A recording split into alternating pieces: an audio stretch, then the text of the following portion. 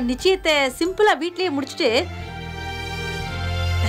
கல்யாணத்தை ஊர் மெச்ச பிரம்மாண்டமா கொண்டாடிடலாம். வீட்லயா? இதுல என்னடி இருக்கு? வீட்லயே பண்ணிடலாம். சரிதானேங்க? சரி வீட்லயே பண்ணிக்கிடலாம். ஆ.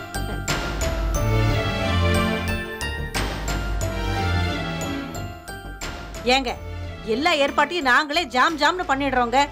கல்யாணத்தையும் சீக்கிரமே வச்சிடலாமே. என்ன உமது? ஆமாங்க. கல்யாணத்தை யார் நடத்துறது?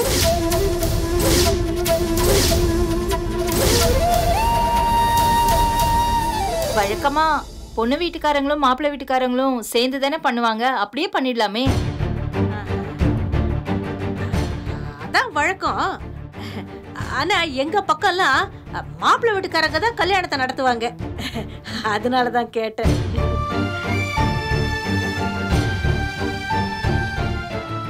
எங்க பக்கம் அப்படி இல்லைங்க.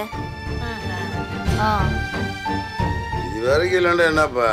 இனிமேல் அந்த பழக்கத்தை மாற்றிட்டு போகிறதுன்றேன் நம்ம செலவுல கல்யாணத்தை நடத்திக்கலாம்ப்பா.